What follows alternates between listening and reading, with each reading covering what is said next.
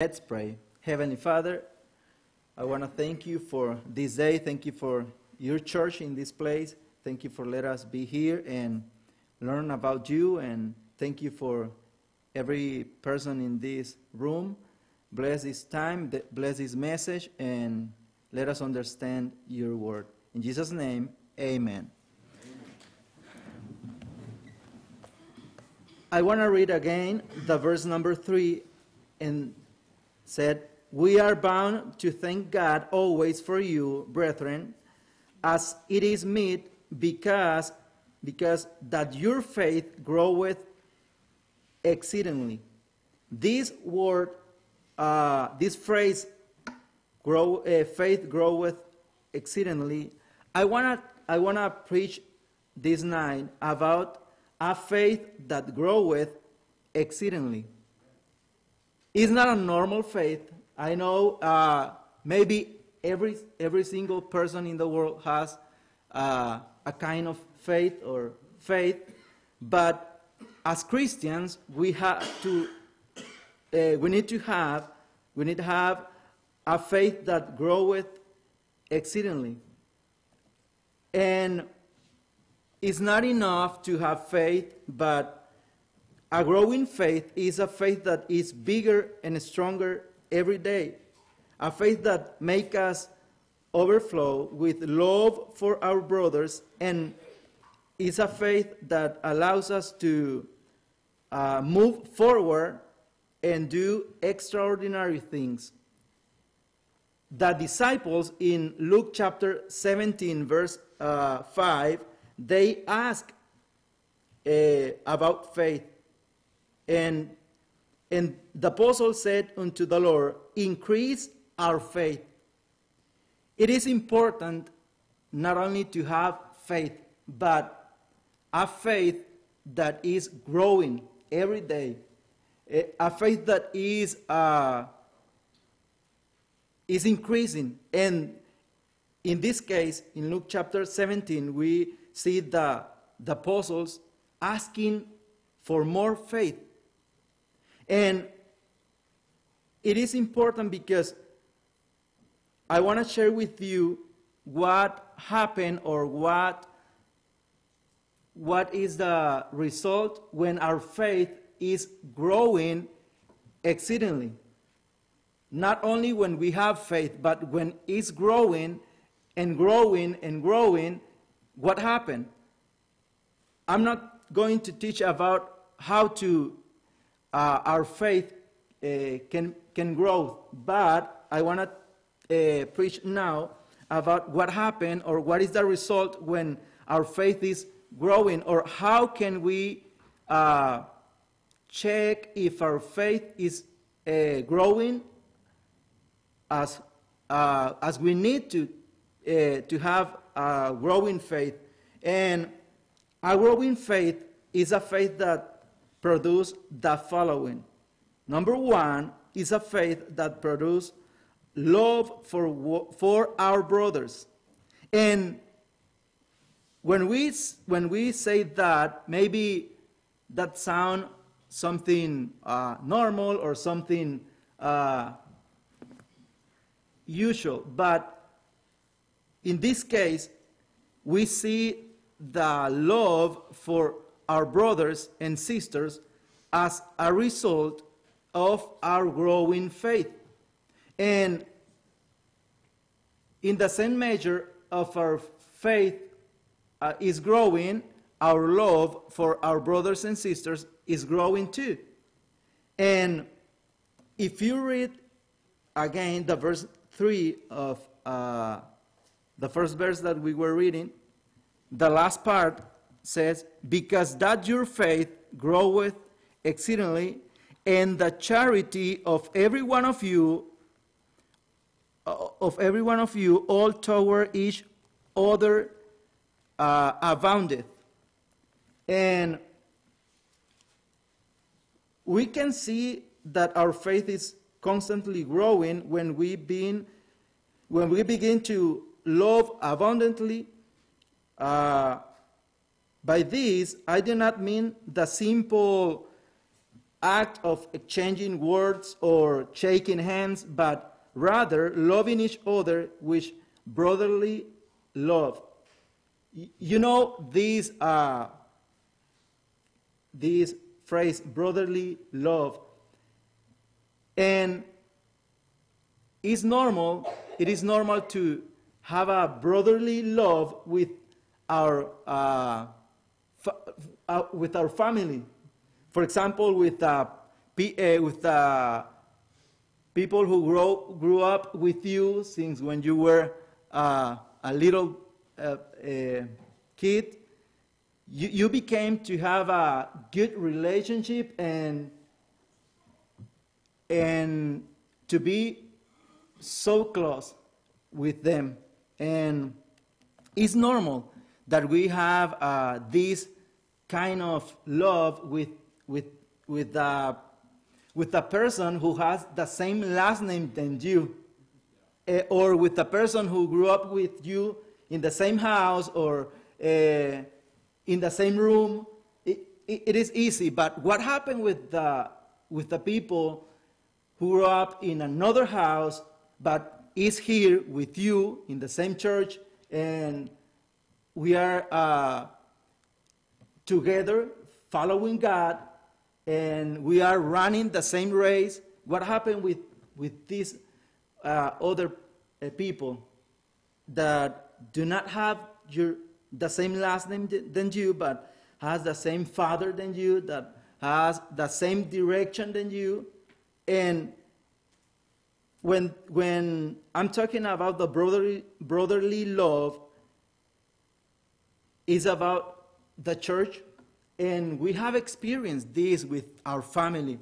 Uh, in my family, for example, we became too close uh, as brothers and, and with my sisters because when my father passed away, we, we had many uh, difficult circumstances and, and was better for us to be uh, so close. And we were, we were, uh, we were too close that we didn't have we didn't have and we didn't when i grew up with my brothers and my sister we didn't have uh, something specific that i can say that i could say you cannot touch this because it's mine or you cannot use or wear this because it's mine. I remember sometimes when i wa- i have i have two brothers and i remember sometimes when i was uh, coming to home and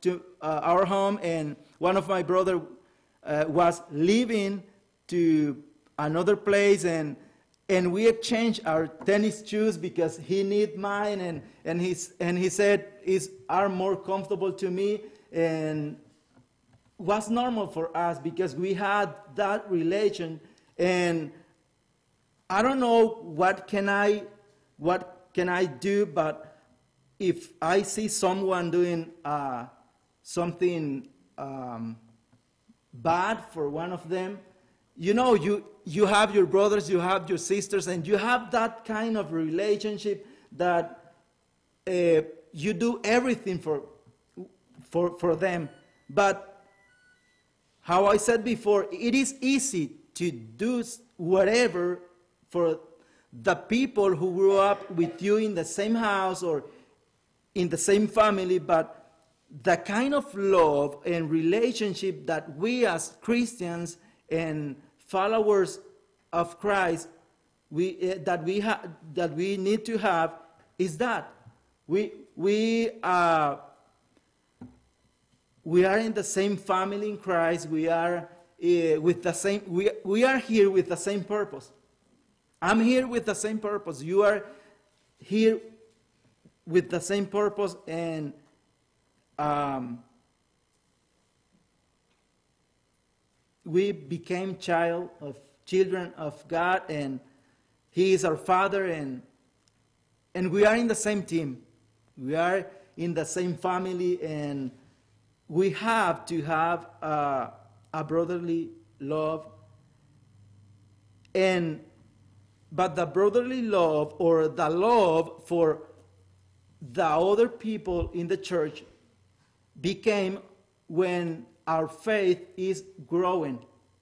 And when I see this in the Bible, and when I see how was the first Christians, how they were, uh, uh, how was their relationship, how was their love, I know why the disciples, the apostles were asking for more faith, faith, and they were asking for to Jesus to increase their faith.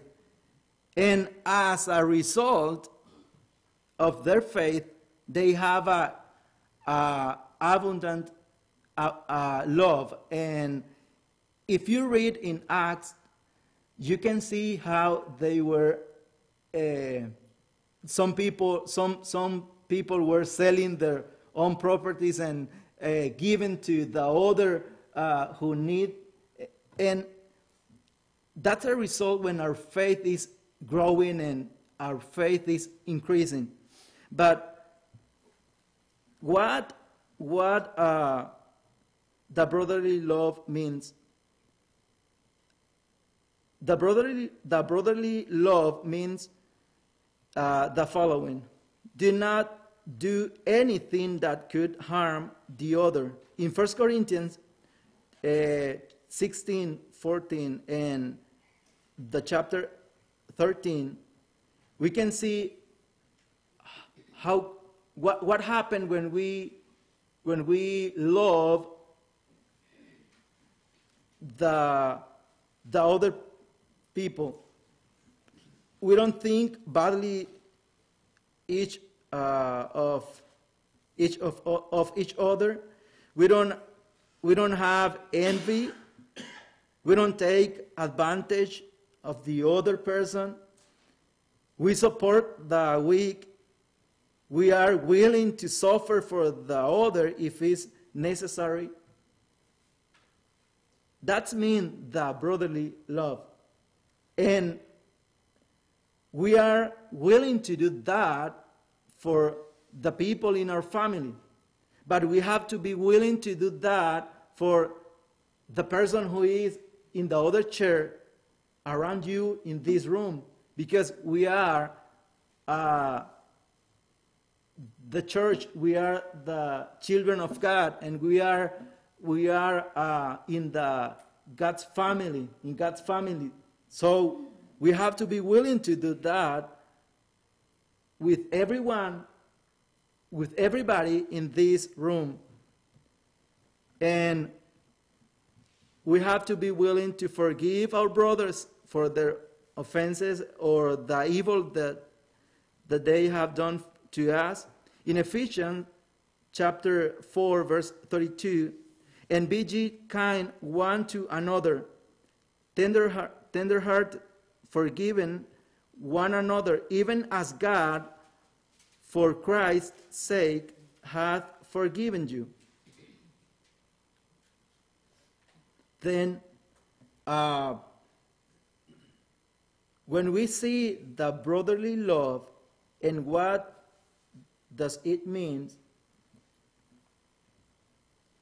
we see that as church, as a children of God, we have to, we need that kind of relationship, we need that kind of love. And resentment and hatred and lack of forgiveness consume our soul and make us live a miserable and bitter life. Forgiving is one of the most difficult things that we as human and Christians can face. And you know that. I have experienced that. But forgiveness set us free from uh, those chains that do not allow us to be truly happy. And whenever we have to forgive, we should ask ourselves if we deserve to be forgiven by God the Father. And when we realize that we do not deserve it, then we will be able to forgive each other. In Matthew, if you read, if you can read with me Matthew 6 4, 14.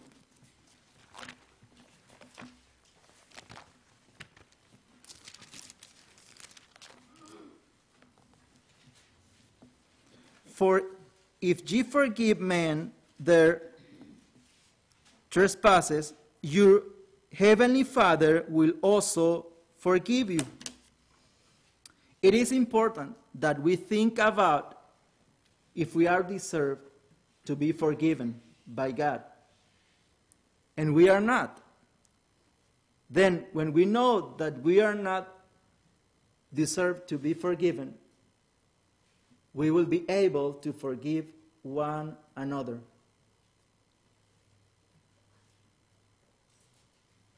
I'm sure that sometimes someone will do something bad against you or something that you don't like or something that you uh, that is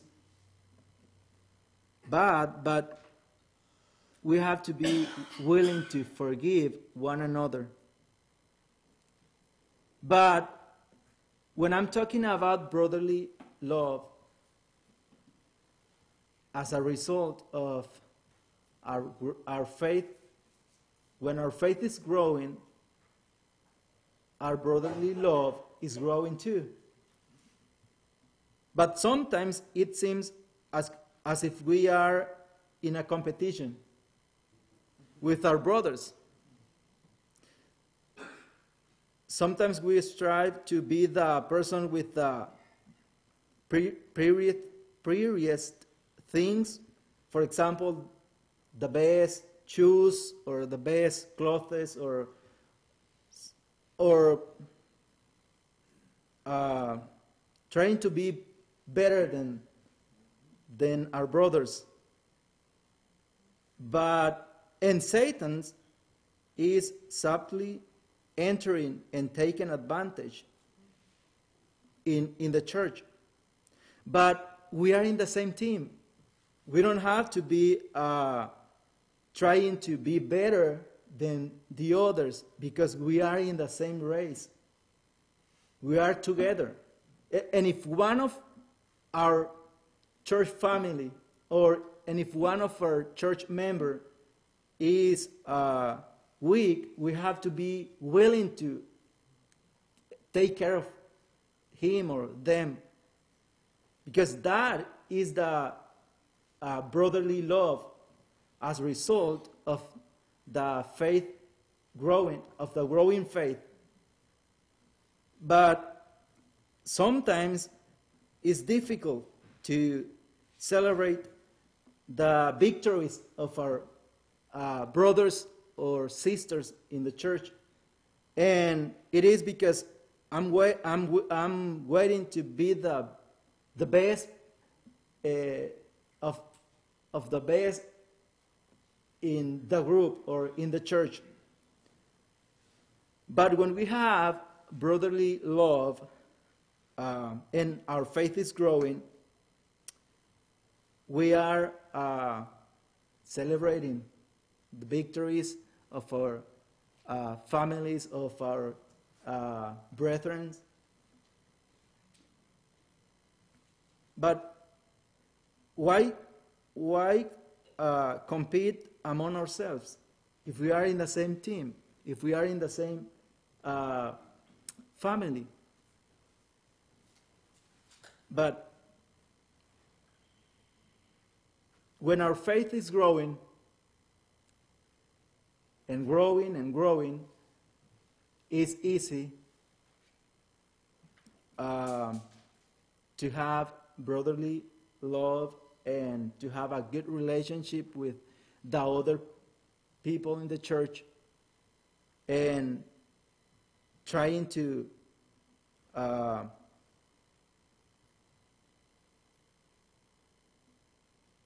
to celebrate their victories or praying for for the others then I see this in, the, in, in, that verse that when our faith is growing, our love for our brothers is growing too. But when our faith is not growing, because everybody outside say that they have faith. If you ask every person uh, in the world, they say they have faith. But the most people try to make bad things one each other or think bad things one each other or take advantage one each other. But when, our, but when our faith is growing, it's different. When our faith is growing, everything is different. But number two, when our faith is growing, as a result, we, we, uh, we are serving the Lord. How I said before, maybe everybody said or are uh, saying that they have faith, but are they serving God? Because when our faith is growing, we are serving God. Because serving God is not only uh, attending the church or uh, saying that I am a Christian. In 1 Thessalonians 1 9, we see an example of the Thessalonians church.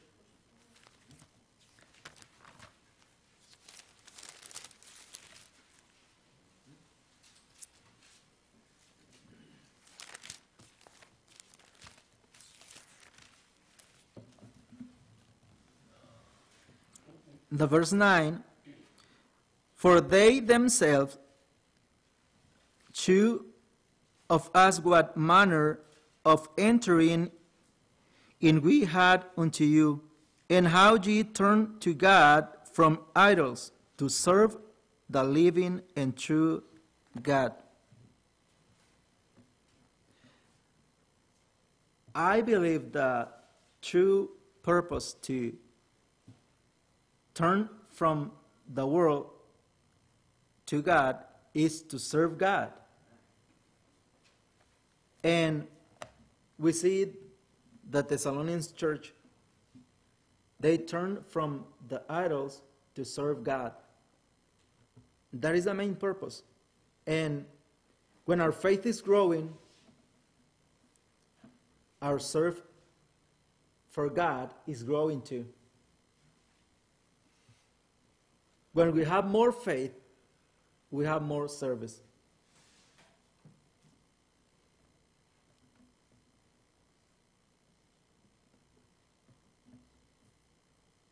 But serving God implies the following things.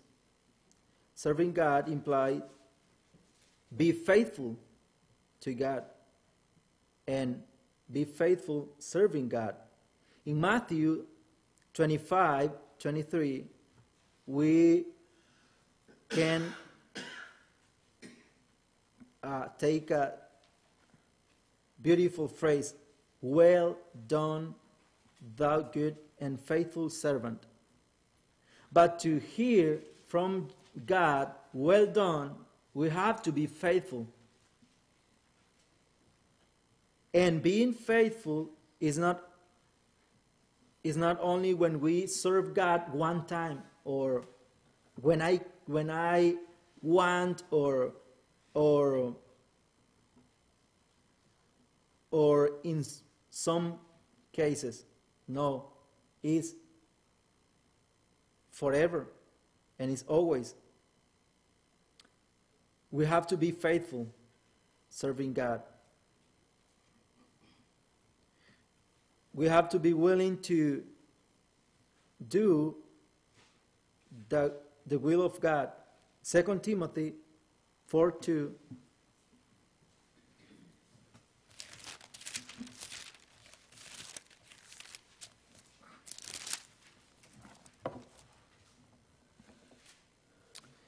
preach the word, be instant in season, out of season, reprove, rebuke, exhort with all long suffering and doctrine. But this first phrase, in season, out of, out of season. We have to be willing to, to do the will of God. And many times we do not understand or comprehend the will of God. It seems to make no sense or it seems as an endless road. What we should do is simply keep going or keep following. And at the end, we will realize that the best thing to do was to keep moving forward and not stay stagnant. In the end, we will understand things that we do not understand before.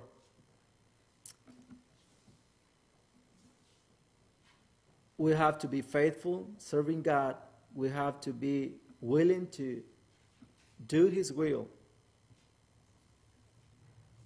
And if our purpose in life is to serve Christ and spend our life for Him, for His honor and glory, then we should learn how to serve Him and what, what our attitude in that service should be.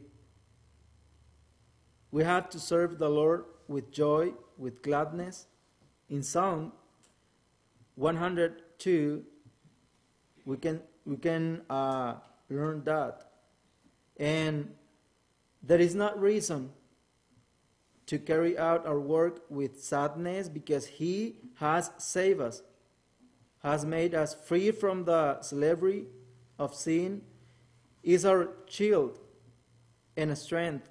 He is our provider, is our helper.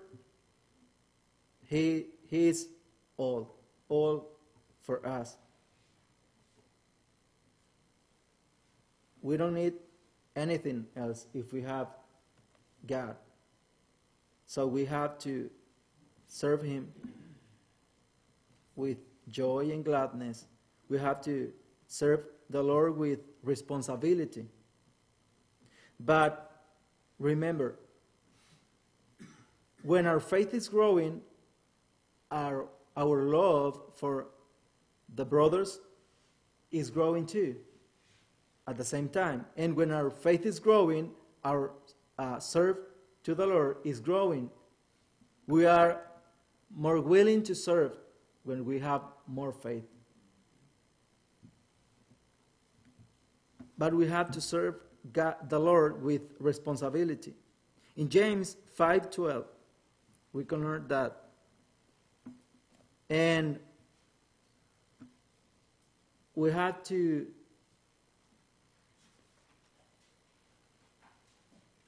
to know that Yes is yes and not is not.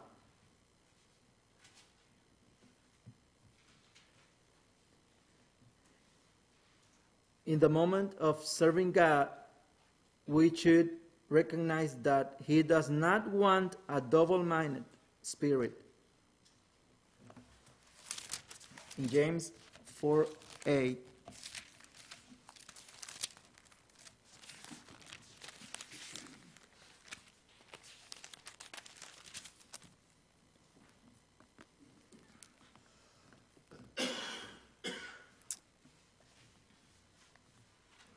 journey to God, and he will draw nigh to you. Cleanse your hands, ye sinner, and purify your heart, ye double minded. Mind. We have to serve God with responsibility, and we have to serve God with holiness. In the verse 4 of James 4, ye adulterers and adulterers, That's what confused me. Yeah, I know you understand better. Know ye not, know ye that not the friendship of the world is enmity, enmity with God. Whosoever therefore will be a friend of the world is the enemy of God. We have to serve God with holiness. We, uh, we cannot walk arm linked with the world as we serve Christ because God is a holy God and we should serve Him in holiness. Finally, we can see how our faith is growing or if our faith is growing because if my faith is growing, if your faith is growing, you, you can see that in the result of your love for your brothers and sisters and your service in the uh, your service to the Lord. And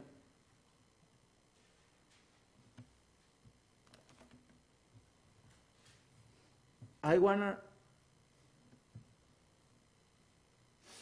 finish in this uh, verse, John 13, 34 and 35.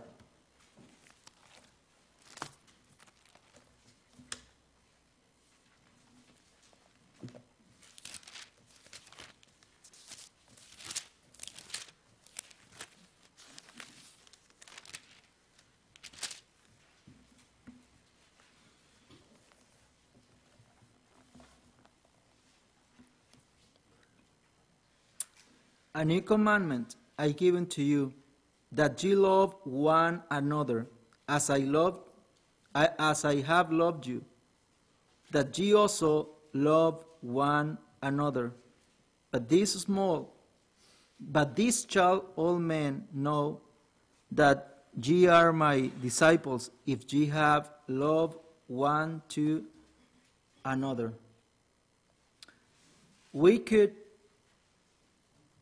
obey this commandment when our faith is growing. It is important to ask God to increase our faith.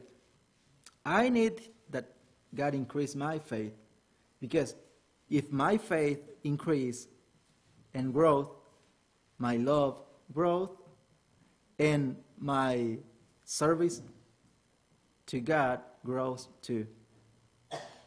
I need that. I don't know you, but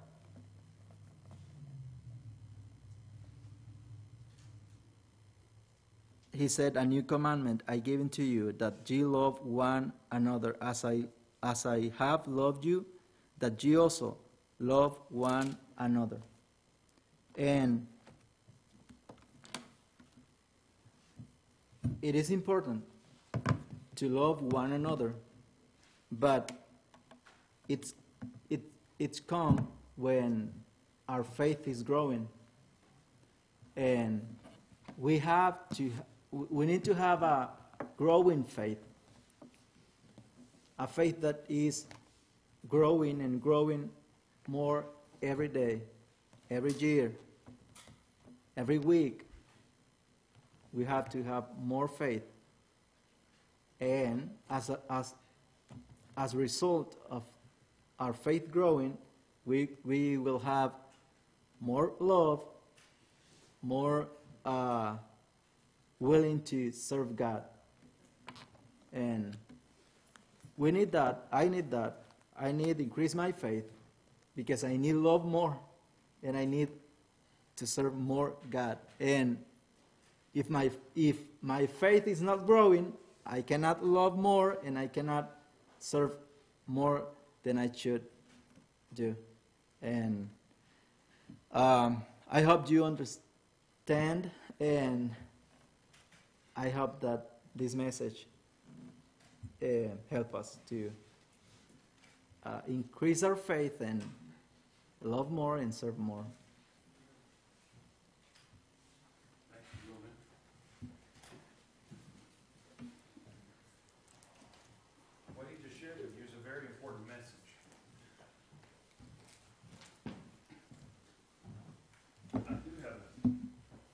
concern for you, though.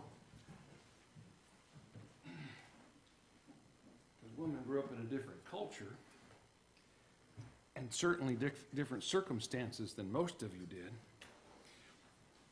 Most of you probably had trouble relating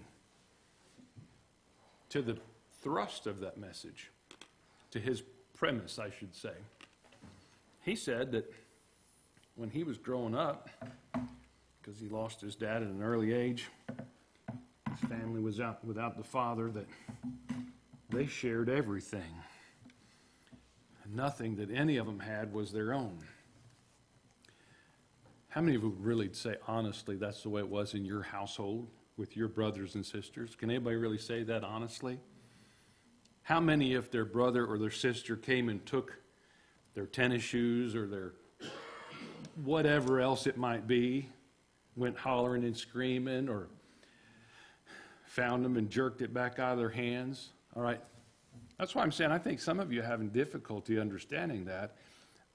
But I really wanted to sh- make sure that this point wasn't lost.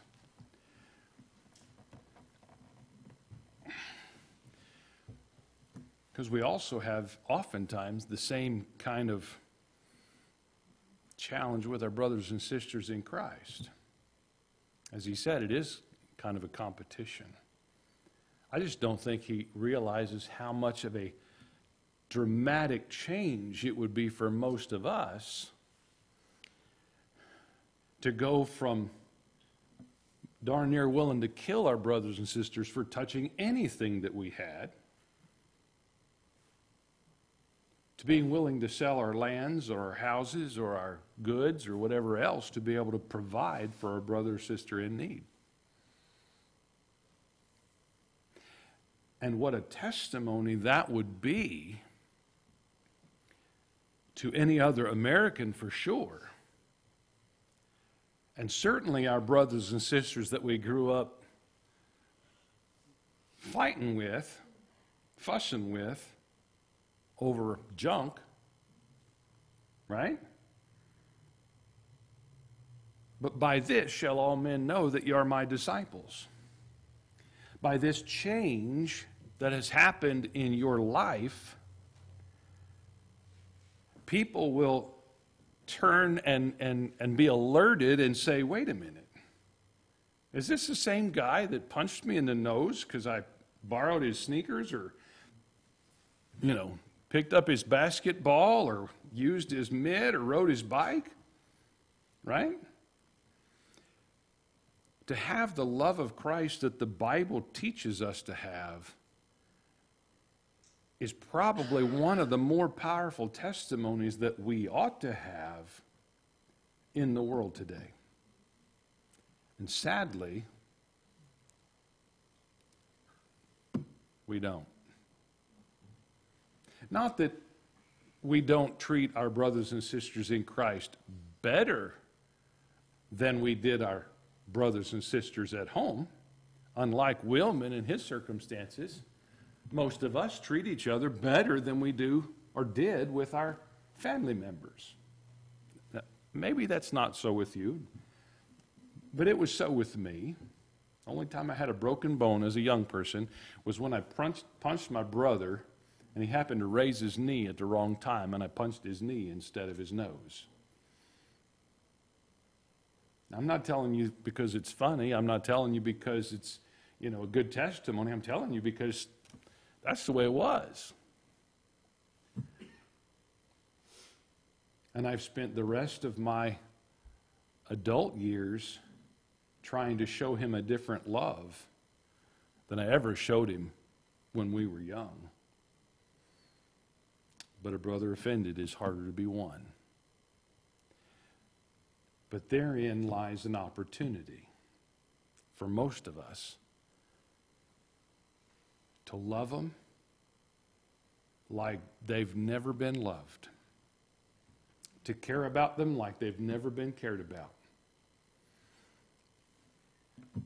Say, well, he doesn't care about me that way. Well, if they're not a Christian, how would they even know how to do that? But if you did it to them, they'd look at you and go, What are you, nuts? What happened to you?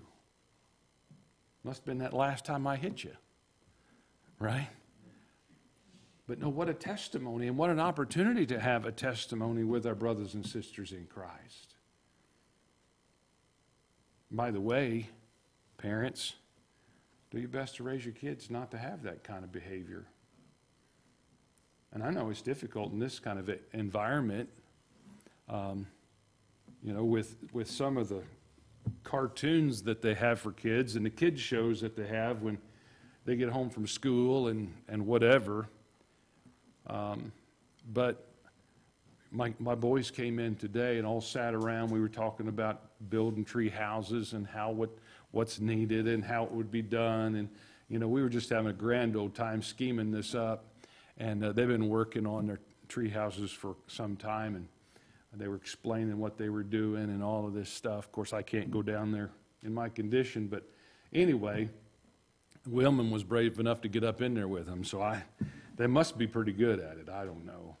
But uh, in any case, you know, I said, boys, you need to understand something that just blesses my heart. When your uncles and I were your age,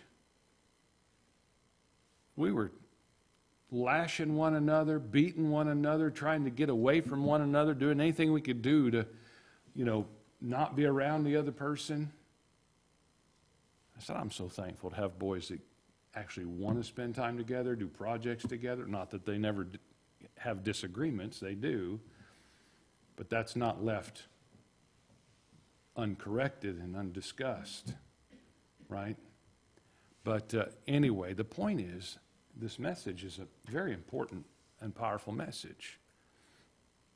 And uh, we need to pray about that. Is our faith growing exceedingly? And not, not to have a, a puffed up head or anything tonight, but just really evaluate that. You can know and you can tell by whether your love for one another is growing exceedingly. Are you, what are you willing to do to care for one another in the body of believers? Right?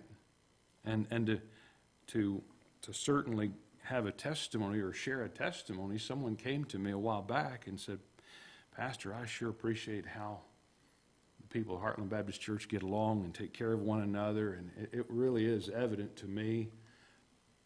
And so we'll praise the Lord. We're trying to grow a family of believers. We want people to love one another and care for one another as Christ did. And um, I believe we aren't failing at that, but I certainly believe there's room for improvement. So I want to encourage you tonight to really pray about this message and what the Lord would teach you from that or about that. And uh, maybe ask Him for some help tonight to demonstrate that brotherly love and uh, maybe for some help to correct some of the past uh, indiscretions, failures of I didn't share love when I had the opportunity. And um, I would just say I, I very much appreciate y'all's prayers, your text messages, your phone calls, even your ribbings. I got a few of those while I was out. But just because you loved me and cared about me. And I know that, and I appreciate it.